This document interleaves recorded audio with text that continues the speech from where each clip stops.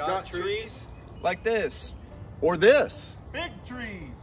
Little trees. Hi, I'm Jeremy Lowe. My name is Colin Lowe. We are ISA certified arborists, licensed irrigators. We have uh, licensing and irrigation auditing. We're both licensed by the TDA for lawn and ornamental applications, and we eat, sleep, and breathe tree care. So, why did I get into tree care? I've been planting trees since I was 18 years old. Really got to fall in love with uh, nature of different trees, the different pruning systems on different trees, the gear that goes along with being an arborist. It, it was just something that I that I could not do. I think that being um, able to be on the property and help people get trees that are looking good and gardens, outdoor spaces that are enjoyable to be in is one of the best things that we can do for other people.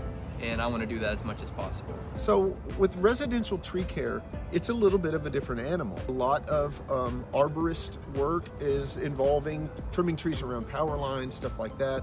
With residential tree care, the needs of the tree and the nature of the tree has to be molded to fit the needs of the property owner. Whether that is, I want to set a bench under it so that we can enjoy shade, the tree was planted very close to the house and needs a certain type of pruning, or it's an ornamental. We love residential tree care because it helps this extremely important part of the environment fit the needs of the property owner. So if you have a home where you have a tree or you're interested in getting a tree, give us a call here at Chorbie or send us an email and we'd be more than happy to help.